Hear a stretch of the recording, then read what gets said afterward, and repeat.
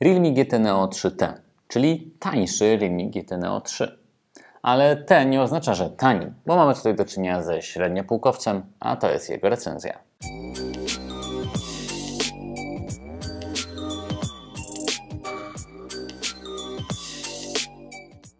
Realme GT Neo 3T to kolejny smartfon Realme wydany w tym roku. Tym razem jednak Realme postanowiło, że uderzy w średnią półkę. E, co prawda chyba w Indiach on się nazywa Q5 Pro, jakoś tak. Nawet możemy gdzieś tam w nim znaleźć te informacje.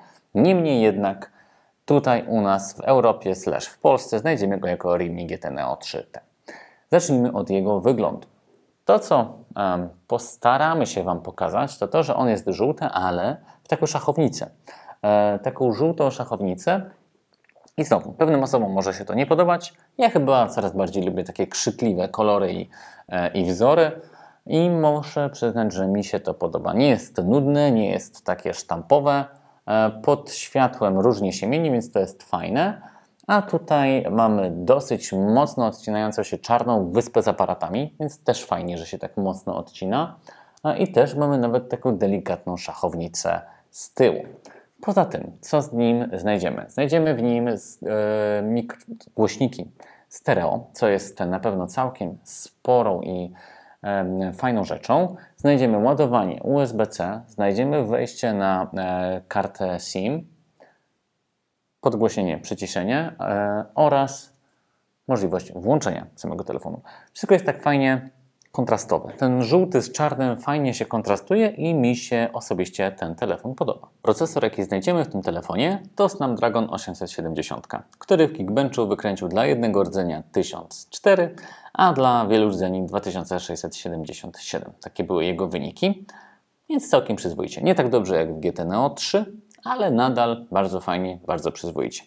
RAMu mamy 8 GB, z czego możemy wykorzystać 5 z pamięci na dane do tego, żeby go tymczasowo podkręcić. Tym, co wyróżnia produkty Realme jest szybkie ładowanie. Tutaj jest nie inaczej.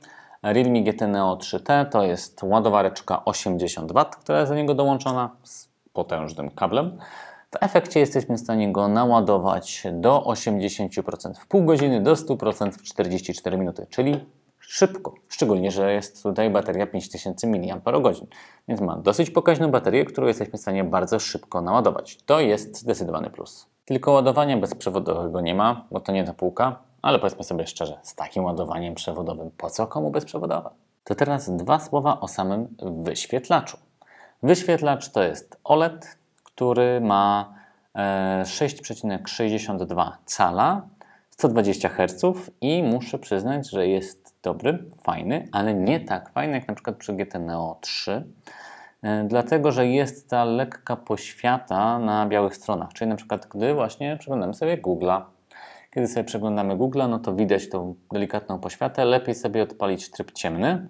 Jest bardzo fajny, wysokiej jakości wyświetlacz, ale z tymi mankamentami, które mogliśmy zobaczyć na przykład przy niektórych modelach Vivo, które Wam zresztą wcześniej recenzowałem to niestety dalej ciągnie się e, za tym modelem Realme. Warto jeszcze przy okazji ekranu powiedzieć, gdzie jest przedni aparat. Możecie go znaleźć w lewym górnym rogu, czyli tutaj znajduje się ta dziurka, przez którą możemy na siebie popatrzeć. A przy okazji jest śmieszna funkcja, ale o niej będzie za chwilę. No niestety ciągle nie są to aparaty schowane pod ekran.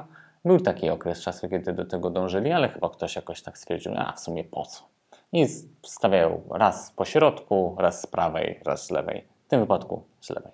To teraz czas na aparaty. Skoro zacząłem przed nim, to czas przejść do głównego aparatu. Od niego zaczniemy. 64 megapiksele, czyli nawet lepiej jak e, przy GT Neo 3. Poza tym mamy ultra szerokokątny 8 i makro dwójeczkę. E, powiem tak, aparat robi bardzo dobre zdjęcia, fajne jest. E, co prawda, gdy oglądamy je na telefonie, to są one bardziej żywsze niż wtedy, kiedy przerzucimy je na jakiś ekran zewnętrzny, ale nadal wszystko wygląda fajnie. Tryb nocny odpala się automatycznie.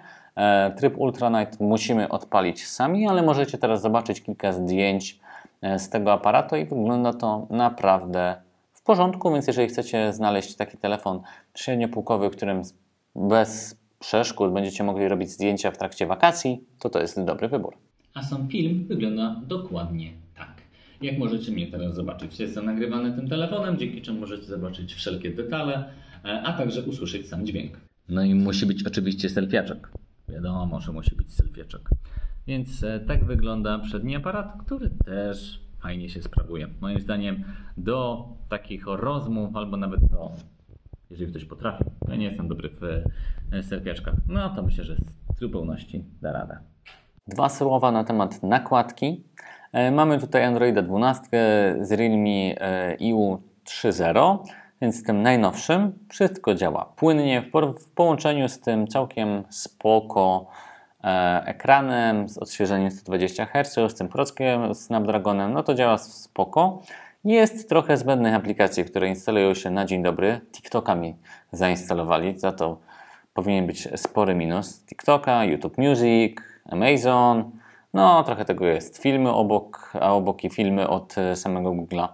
Więc e, tutaj jest sporo tych aplikacji zbędnych, ale gdy sobie wrócimy na główny ekran, no to już jest zdecydowanie prościej, jest przejrzyście, jest ładnie. Ja lubię akurat tą nakładkę, bo ona jest taka dosyć, mm, dosyć wizualnie fajna. Tutaj widzimy wszystkie te zbędne aplikacje, które możemy rozpocząć ich usuwanie. Możemy sobie poprzeglądać, jakie tam newsy się pojawiły. Widzicie, że wszystko działa naprawdę szybciutko. Nawet gdy wejdziemy w ustawienie i będziemy się nim bawić, to wszystko działa sprawnie. Realme GT Neo 3T. Czy cena 2100 zł za ten telefon jest dobra? Moim zdaniem jak najbardziej. Mamy spoko aparat, sam telefon jest szybki, wyświetlacz jest fajny, nie licząc tej białej poświaty, ale do tego da się przywyknąć. Nie lubię tą żółtą szachownicę i to jak to wygląda. E, ten, e, ta nakładka od Realme jest całkiem sprawna.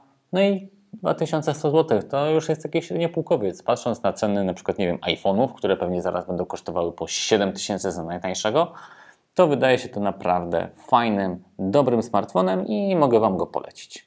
A poza tym oczywiście zapraszam Was do naszych pozostałych recenzji sprzętów Realme, no i do lajkowania naszych filmów, bo to jest koniec recenzji. I oczywiście subskrypcji naszego kanału. Dzięki wielkie i do zobaczenia.